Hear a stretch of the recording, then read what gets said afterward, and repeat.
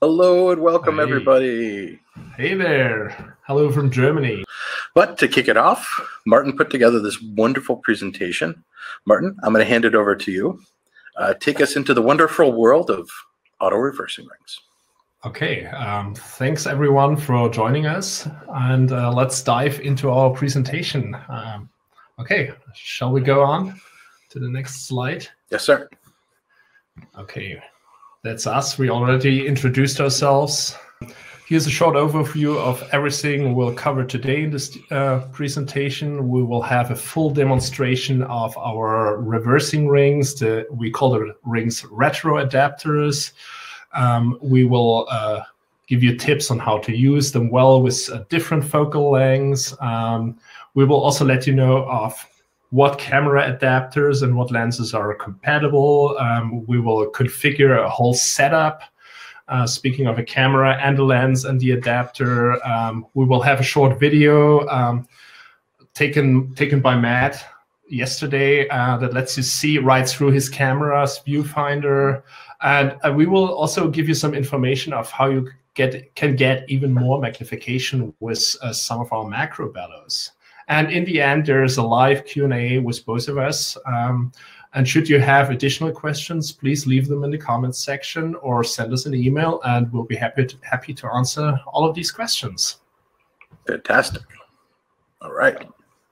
Okay, so um, what is a macro reversing ring? That's a very good question. It's, uh, well, I have one here. It's basically, that's what it is. It's basically two mounts connected by cables. So, in other words, it's a communications device um, that lets your camera speak to your lens um, while it's while it's flipped around. And we will explore this in the next um, slide a little bit better.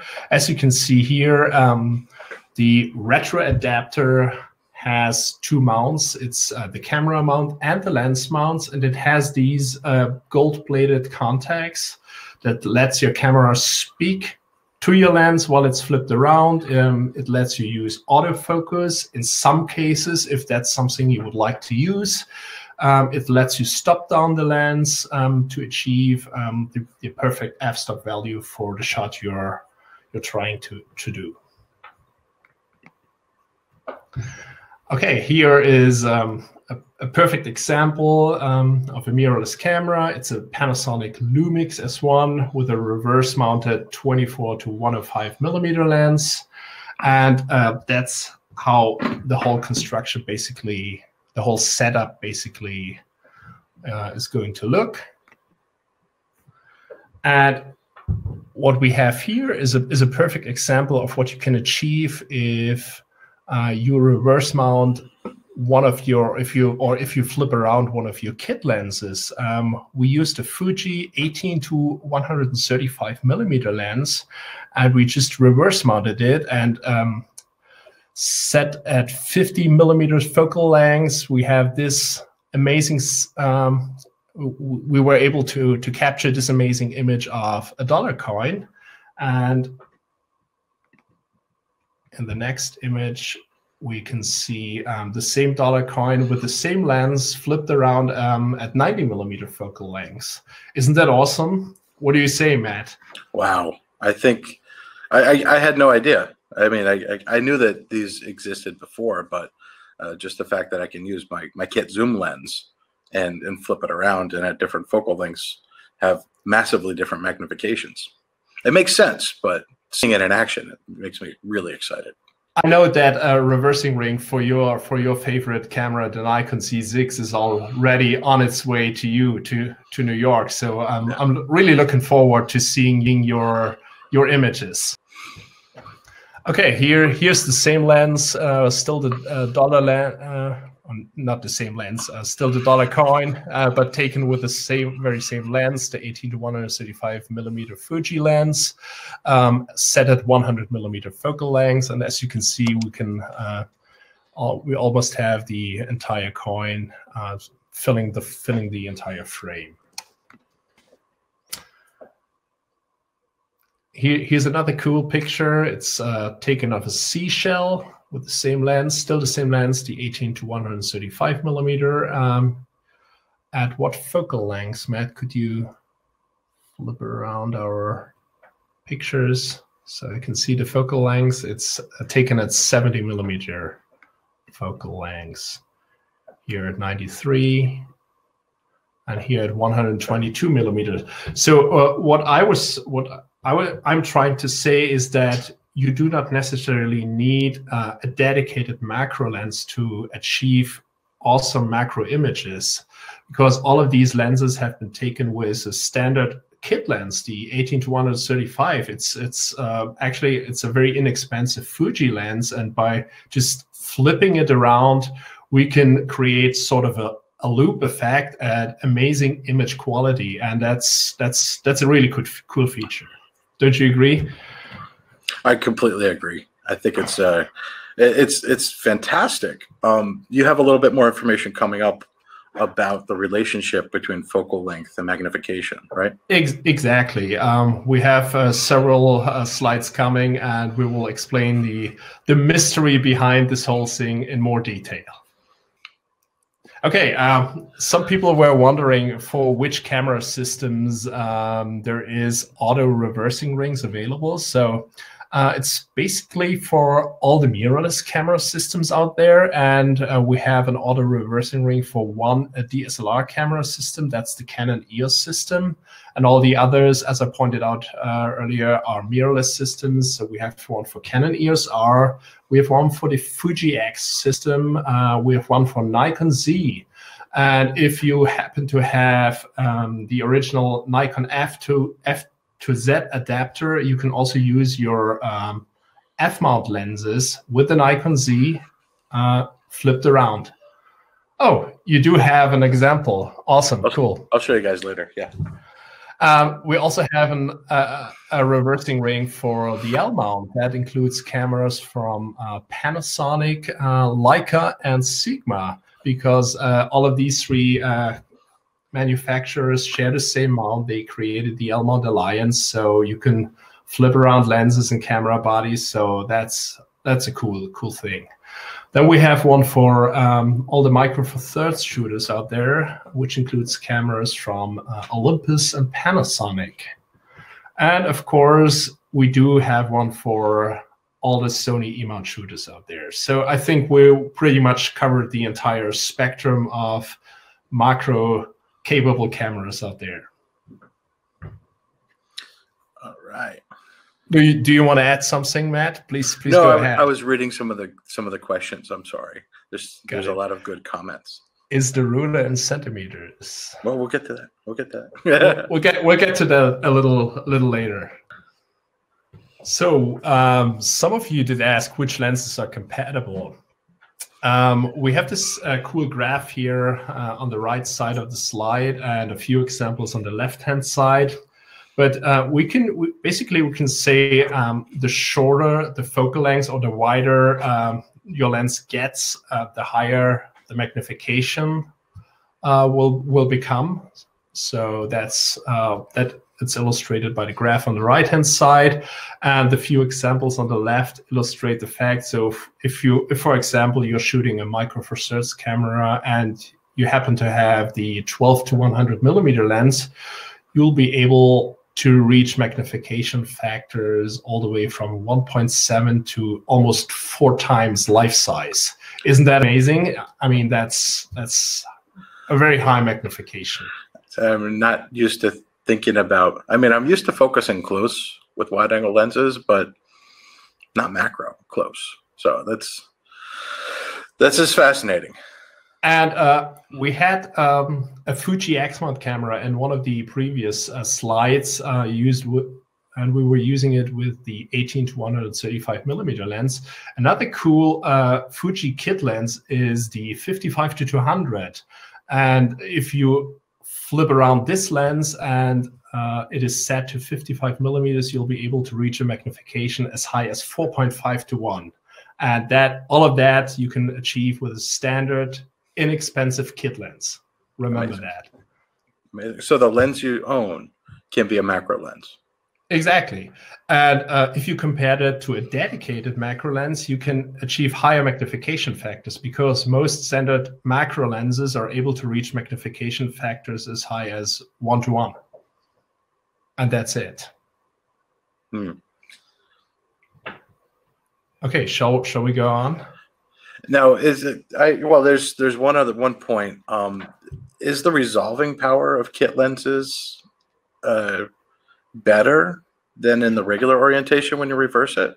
That's that's actually a, a very good question, Matt. Um, if you if you reverse your standard kit lenses, the resolving power actually gets gets better. You can achieve higher magnification images uh, compared to um, standard standard mounting of your of the kit lens. It's very interesting, and you you'll be amazed if you just reverse mount uh, one of these kit lenses. Makes me wish I, I became a lens optical designer. I did. if my math were stronger, maybe I would have. This is fascinating.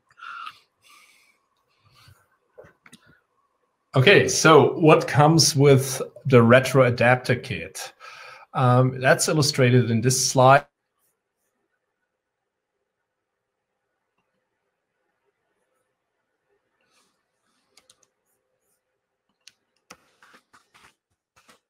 Sensitive rear lens element and the stepping ring marked with number three is optional so the reversing ring comes with a 58 millimeter filter thread by default.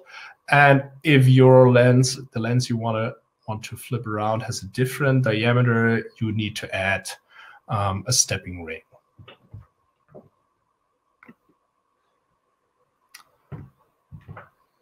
So he, he have an exams have 8 millimeter filter threads, so there's no extra stepping ring required. Now we're going to do a demo with Martin. Okay, so let's assemble uh, a complete uh, reverse adapter kit. I have my Canon EOS R camera here, and I did bring the, of course, the appropriate reversing ring. And I have a Canon 17 to 85 millimeter lens. It's an original EF mount lens, and we'll make it compatible with the original Canon adapter. It's the mount adapter EF EOS R. So I combine these two first. And this lens does not come with a 58 millimeter filter thread, so I have to attach one of the optional filter stepping rings.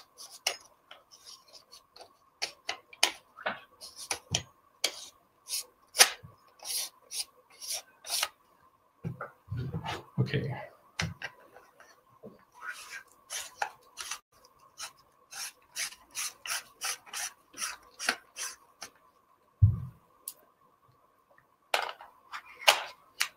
Okay, so now I have assembled the entire kit. I now you can just reverse mount. Oops. Oops. That's where the red dot is. Reverse mount the lens. And that's how easy it is to reverse mount your lens. You're still able to adjust the focal length. You're still able to adjust the focus. And of course, you control the f-stop by means of the appropriate dials on your camera. That's amazing. Okay, Matt. Um, do you want to just play the video that you pre-recorded yesterday? Yeah. The, view, the views through your camera.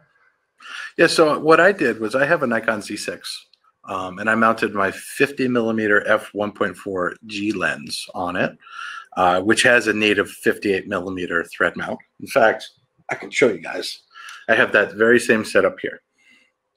So I have the lens reversed here and this is one end of the reversing ring. This is the other end of the reversing ring. And on the front of it, we have the Heliopan perfection, protection filter and the handy dandy little lens cap keeper, and the lens cap is included. What a nice touch. Um, and of course, it's all connected with this. So I hooked it up to uh, my Ninja V recorder so I could record what's coming through the EVF. And uh, there's no sound to this video, but it's only like 29 seconds long. So don't think something's wrong when I hit play. There's just nothing interesting to say. So um, I'm going to say it now. One of the things that I discovered during this was that, and you'll see this during the last clip, as I open up the lens, the bokeh changes dramatically. As I stop down, you'll see almost the perspective sort of breathe in and out and I found that fascinating. I think I can use that very creatively as I move forward. So, without further ado, here's the video. Hey, this is fun, right? is is that a Mamiya lens? Yeah, it's a 35 millimeter 645 lens. That's what I thought. Everyone seems and that's fascinated. It, right? Look at that. photography. Wasn't that oh, awesome? look at that. Oh, look at that. That's funny. When we're playing the video, normally the sound doesn't come through while we're talking. So you guys got this here behind the curtains a little bit there. so back to our slides. Um, demo time. We just did that. And what's it look like through a camera? We just saw that. So how can I get even more magnification? Well, that's that's a very good question. What you can do is you can attach almost on a let's let's put it different. You can attach every one of the Novoflex auto reversing rings to any of the Novoflex universal bellows. So there's different universal bellows out there. We have three different bellows. And uh, by adding one of the auto reversing rings to um, one of our universal bellows, you can uh, make them become a, a, smart bellows with complete communication between your lens and the camera back and forth.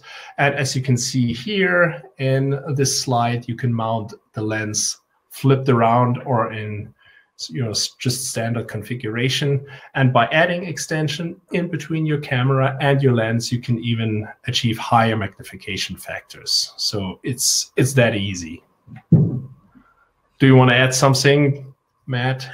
I, I just say I'm something you discovered through through our video shoot and Catskills last year. Well, like, I'm amazed over and over again as I uh, descend deeper into the uh, I say the black hole of macro photography. I say that in a fascinating sense in that it's sucking me in.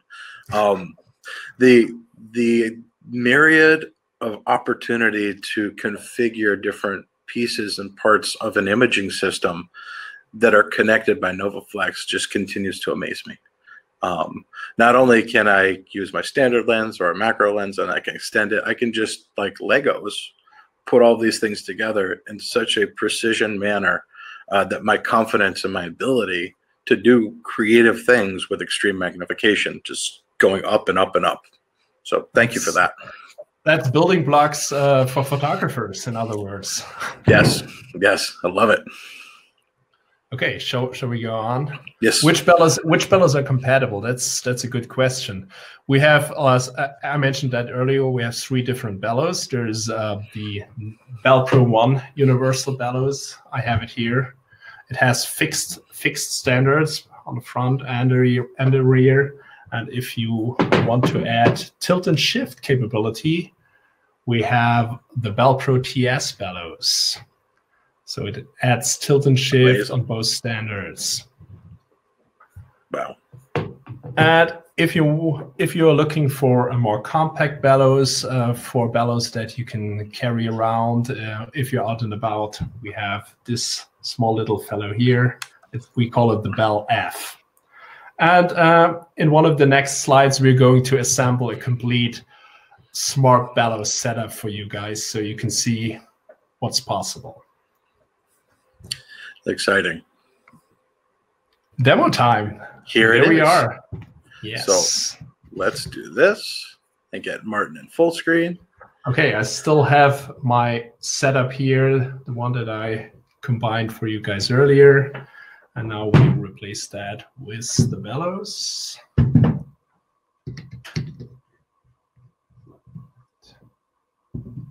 This in here.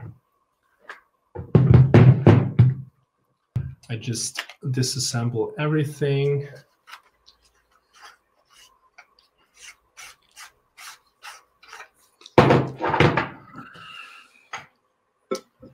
And to attach the auto reversing ring to the bellows, I need two adapter rings. One that uh, makes sure the ring attaches to the front and one that goes to the rear standard.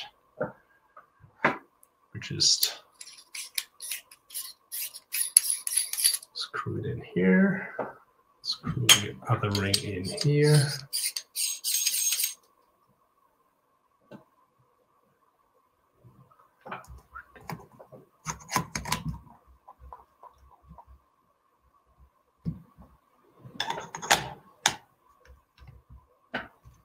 And now we lock it down.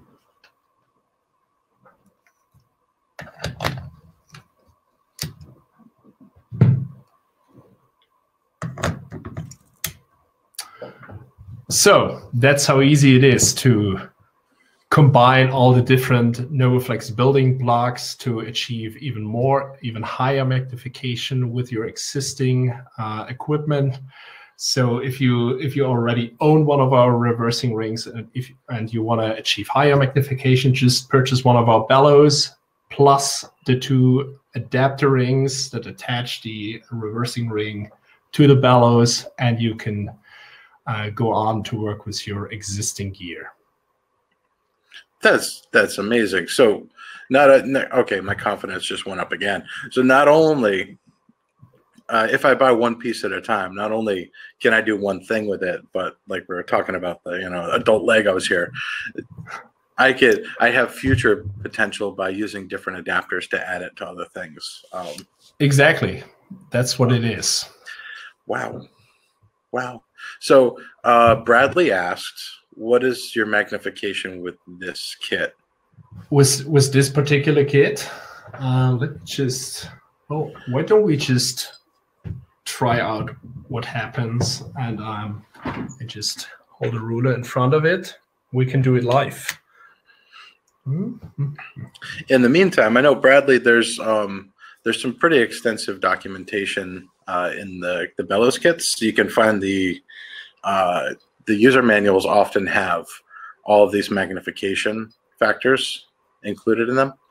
Uh, so we can we can look that up on the website. Uh, if not, uh, we can get back to you with that specific information. So thank you.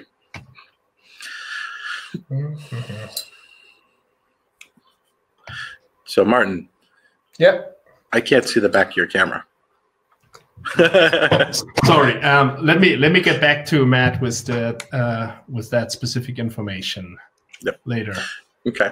We also have um, NovoflexUS.com is going through a complete rebuild, um, and we are imminently going to re-release that website uh, with more features and more information. So in the coming months, you will see not only a better website with a better experience, but uh, more answers to questions like this. Hey, there's another interesting question by Terrence that we can answer right away. Will your system work with Sony G Master lenses, both fixed and zooms? Um, Terence, are you are you referring to the, the smart bellows or just the auto reversing rings? So if if you want to just use the auto reversing rings, we would definitely recommend to use it with zoom lenses only. But if you're into uh, the auto reversing rings and the bellows, um, you can definitely use both um, zooms and primes as well. Have we've been talking about these with a lot of people. Um, and there are some common questions in addition to the ones that we're going to get to your guys next. Um, so we did cover this a little bit earlier. Is the Novoflex auto reversing ring available for my camera system? We showed the graphic, but here it is in writing and a different way to look at it. Yes, both forms of Canon, the EOS and EOS R system, the DSLR mirrorless, Fujifilm X mount, not the medium format, Alan. Sorry. Um, uh, Martin, do you have uh, any sort of timeline on medium format, or is it under um, consideration at this point? It's not under consideration at this point. Okay. Um, if anybody wants to add votes to that, put it in the chat room. But um, the uh, the product roadmap is just pretty clear for Novoflex. So we appreciate knowing what people want. Why would I choose one of your auto reversing rings over one of the many inexpensive manual rings available? Well, the auto reversing ring, as explained earlier, transfers the entire communication between your camera back and forth. So it's not only autofocus, it's um, aperture control. So everything is maintained. It's as if your lens would be sitting right in your camera's bayonet mount. And that's something a manual reversing ring can't do for you. So using a manual reversing ring is fine as long as you work with lenses uh, that can be manually stopped down. And uh, this is not possible with almost all of the current mirrorless system camera lenses because all of these lenses have electromagnetic aperture control and you need to you have to have a camera to control the aperture in those lenses.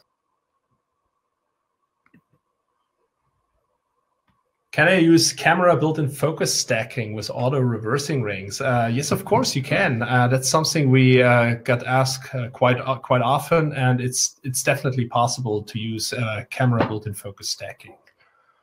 Can I use the lens barrel to focus a reversed lens? Well, um, actually no, and we wouldn't recommend to do so. you can either rock back and forth handheld, um, or and that's something we would definitely recommend to do is to use one of our focusing racks. Um, that's um, a very solid uh, piece of equipment that lets you fine tune focus, and uh, that's that's very important if you're into focus stacking and all those kinds of things. Can I use my auto reversing ring with one of your bellows systems? Uh, we covered that in some of the previous slides. Um, yes, of course, you can do that. We also assembled um, a complete um, smart bellows kit. Um, I can, maybe you can just, you can just bring this into the picture. Sure. That's That's um, our ball, ball F bellows combined with the auto reversing rings for Canon EOS R. And of course, um, that's something Brenda did ask uh, in the chat section, the comments section. If you happen to have uh, different camera systems, all you have to do is just buy a second auto reversing ring, the one for your second camera system, and you can just flip around back and forth between Canon, Fuji, Canon, Leica, so whatever you desire. That's that's also possible. So let's go on. What else do I need? Well, depending on the filter size of your lens, you might need a step down ring uh, to match your lens. The um, auto reversing ring comes with a 58 millimeter filter thread by default. And uh, it's very important, these rings are optional, so they do not come with uh, the reversing ring kit. And yeah, but they are they are inexpensive, so you can relax. Um, what else do we have? All right. So the first thing I noticed was that uh, there were many requests to play that video again. So I'm going to do that again right now, and then we're going to roll into the other questions that we had. Uh, so here's the video again. The video with your Mamiya lens. Yes, I can also take a link. I can post a link to this video in the comments so you guys can watch it as many times as you like. So here it goes.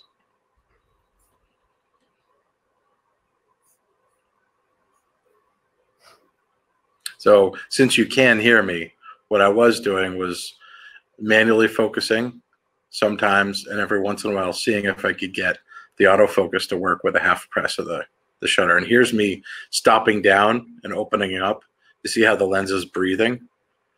I, I found that fascinating. So I will definitely be posting a link to that. You can watch it. Um, that's good. So Brenda said, so unless my filter size is 58 millimeters, I need a step ring. Yes. Yes, you do. Yep. Okay. So, all right. So I have uh, some other questions in here. Um, Florencio, Pro, mm-hmm. tilt shift, true tilt and shift in the future? Say that again. Uh, that's that's all the information I have. I assume that Fl- Florencio is asking if there is a tilt shift version of the bellows. Yes, yes, there is. That, Okay. That's the Bell. that's the Balpro TS. It offers uh, a tilt and shift on both standards. Okay. All right. Was it perhaps they asked that uh, maybe in our slide presentation we didn't indicate that, or I thought we did. Well, we we only came up with the auto codes, which are Balpro TS for the tilt shift version and Balpro One for the bellows with the fixed standards. Got it. Okay. Uh, Bradley asked, could a medium format bellows be adapted? Uh, and it just jumped. Where'd it go? Where'd it go? Oh, there we go. Could a medium format bellows be adapted to smaller format cameras? Um, well, actually, uh, these these bellows here are all universal bellows, so they are not medium format bellows by default. So um, if you purchase one of these bellows, that's how how you you purchase it. It doesn't come with specific mounts.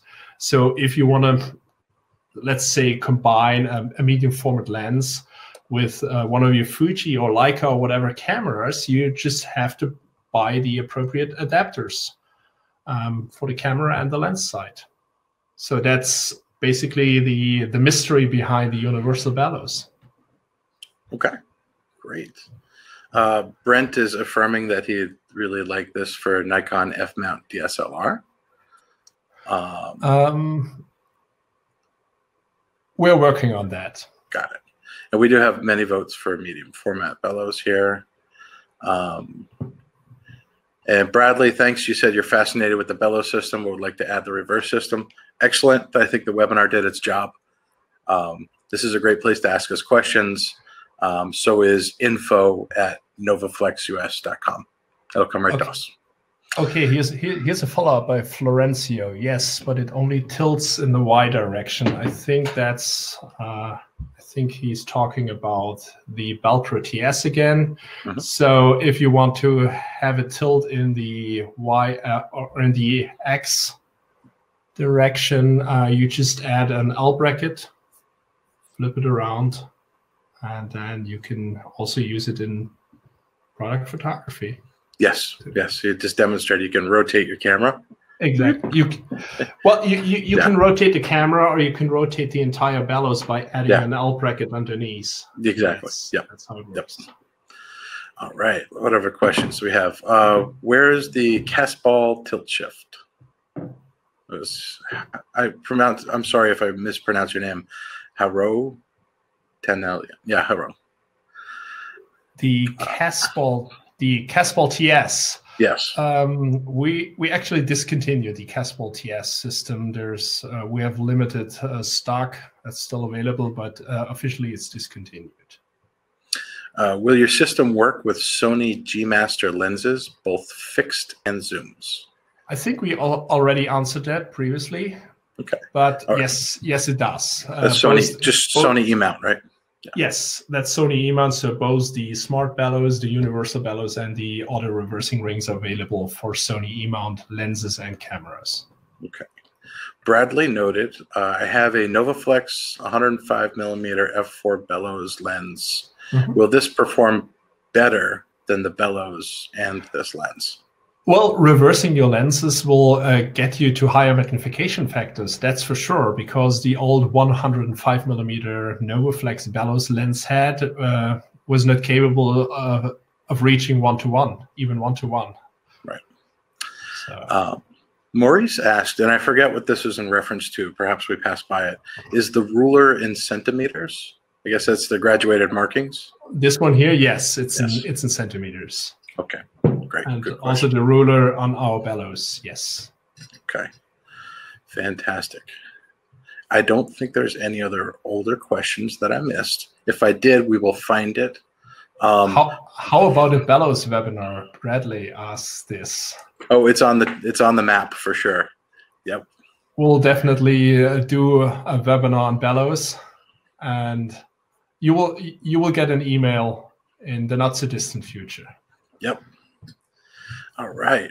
So, um, all right. So, just uh, one more reiteration. Um, if you guys are so enthusiastic about what we've been talking about. Um, I did post the link to that Jot form, which allows you to uh, let us know if you are interested in helping you find the right product. Um, I'm going to post it one more time here. So, um, and we know, we understand. Um, we understand that uh, uh, it might be a little hard to find it in your area. No big deal. Uh, Brenda and I can help you connect with the right place to obtain it uh, and answer, answer any other uh, questions that you have. And also, yes, Brenda notes, please be sure to um, put your name in the form so we know how to address you. Um, great. Thank you, Charles. And thank you all. Martin, thank you for a wonderful presentation. It was very thorough and full of joy. My pleasure. I feel closer to the subject, pun intended. It, it was it was lots of fun, definitely.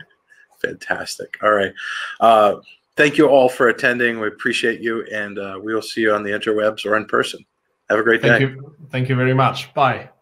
Bye.